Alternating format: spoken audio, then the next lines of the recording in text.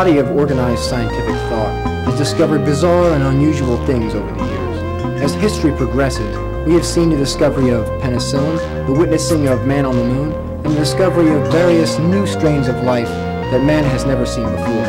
Incredible as these occurrences may be, there are certain unexplained phenomena that still tend to elude man's grasp. Man has come face to face with these mysteries, but has not been able to determine their viability. Here we examine one such type of phenomena, starting with an eyewitness account given by a young woman in upstate Michigan.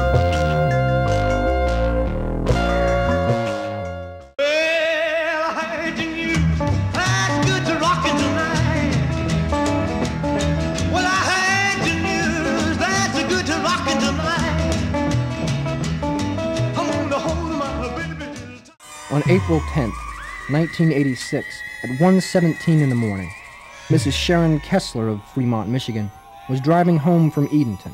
Sharon was late and decided to take a shorter route on a road that was unknown to her. One of our top researchers conducted an informal interview with Sharon Kessler on April 18th, a week after her encounter. When I looked under the hood, I knew something was there. I could just feel something watching me. I don't even remember getting home. I, I must have fainted at my front door.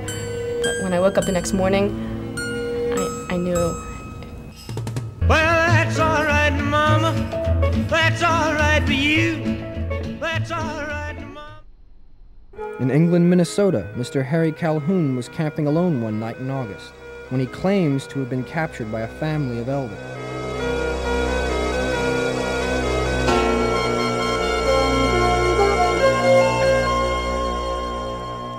The legend of the giant foul-smelling creature known as Elvis Presley began in the mid-50s, when the first reports of the beast hit newspapers and radio stations nationwide, characterized by hit singles such as Love Me Tender, Old Shep, and Let Me Be Your Teddy Bear. But it appears that the legend has been pondered for centuries. Early American Indian tribes often told tales of singing truck drivers roaming North America.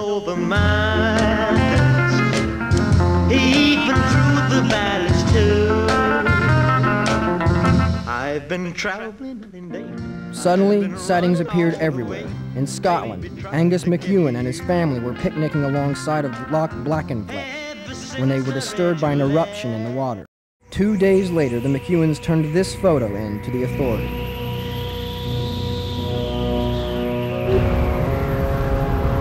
To help us gain more information, to uh, uncover the possible truth behind Elvis's possible existence.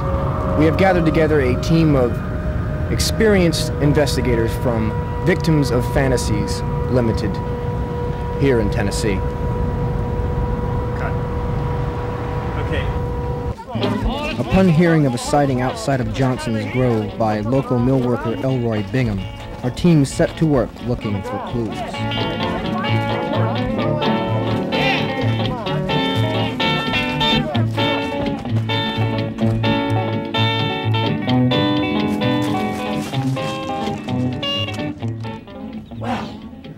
Crazy as it may sound, these tracks were made by a bipedal creature of about five and a half feet in height with an unbelievably massive body weight.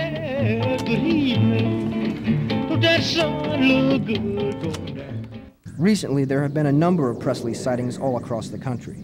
In Marion, Illinois, Cheryl Macy encountered the king at Goldman's supermarket late one afternoon.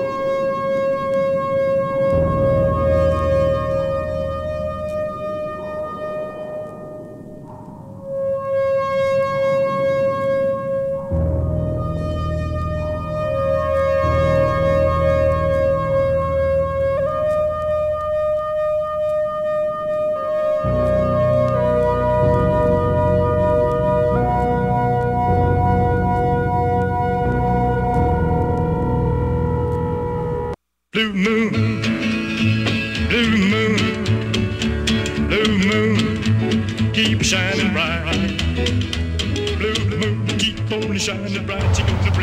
a myriad of sightings coming in, special investigative procedures are being set up to bring us closer to an answer. One method is psychic correlation, in which we consulted world-renowned detective hands cover most of the work. Our scientists have a solid piece of evidence. We'll hide it away in this briefcase, take it to a psychic, and have him attempt to reveal its importance without revealing the, co- the contents.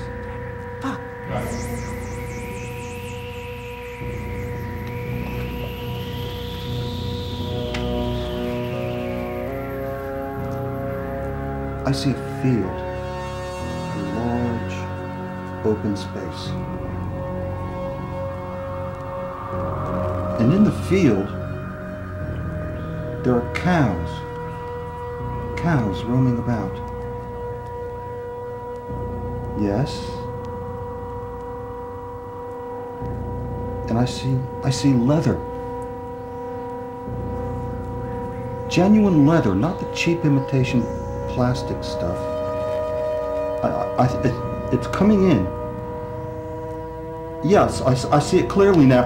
This is a briefcase.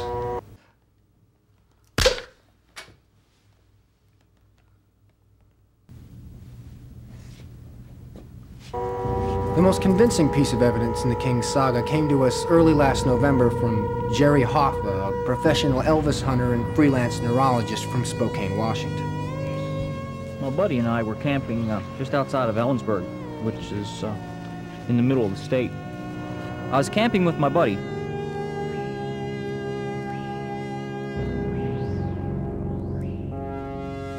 Uh, we were coming up along a little ridge when my partner noticed some strange tracks that had been left. Now, they weren't typical wagoneer or pickup tracks either. They were limousine tracks. Now we knew something was up.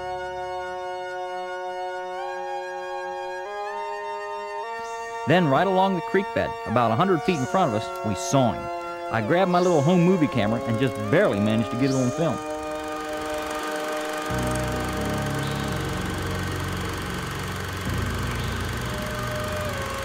Does Elvis Presley still exist, even though he died over 10 years ago?